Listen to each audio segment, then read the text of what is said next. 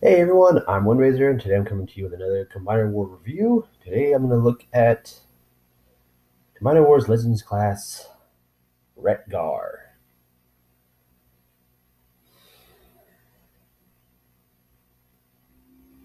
I like and loathe this figure. Now, Wreck-Gar is molded in orange and some yellow plastics with some red, some blue, some black paint. Uh, he's got some, like, I want to say those are decals, but they look like they're painted on, but I can't tell.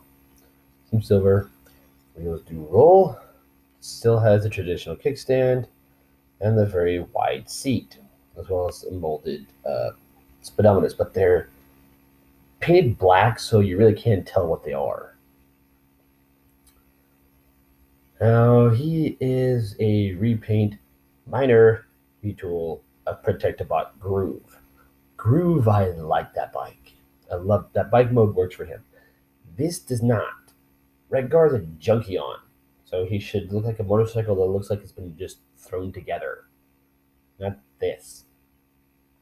So to transform him, go ahead and take this bit right here, which is has the uh, thrusters attached. Fold those down. Those become the feet. Go ahead and stand them up and grab the handlebars on each side. And there's a hinge here, so you're going to rotate them up like that. Do that on both sides. Yeah. No, stay still. Okay. Then you will straighten out what are the arms.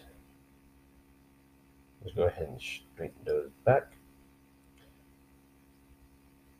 Hold his waist still and take this whole piece and rotate it backwards without moving the hips, which is sometimes kind of difficult. Go ahead, take the legs, split them apart. This windscreen, that little clip is going to go into that little slot right there and just hold in place.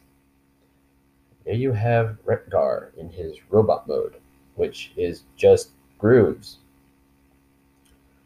Now, the only rendition that they did on him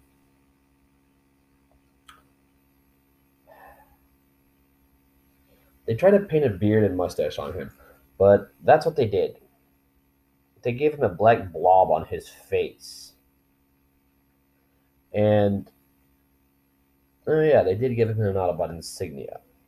It's just right there. But ah, I just see it as I'm gonna add this to my Computron, but I'm not gonna call him Wreck-Gar. I need to try to find another name for him. So, yeah, help me with that, please. uh, but anyways, here you go, Wreck-Gar. Um, I didn't show the posability off in Warpath, I'm sorry. He has a ball joint in his shoulder and elbow, head on a swivel, ball joint in the hip, and hinge in the knee. With Wreck-Gar, it is a ball joint, ball joint, hinge, swivel, ball joint, swivel. So, there's Wreck-Gar. Y'all may like him, I don't. I'm Windrazor, and I'll catch you on the next review.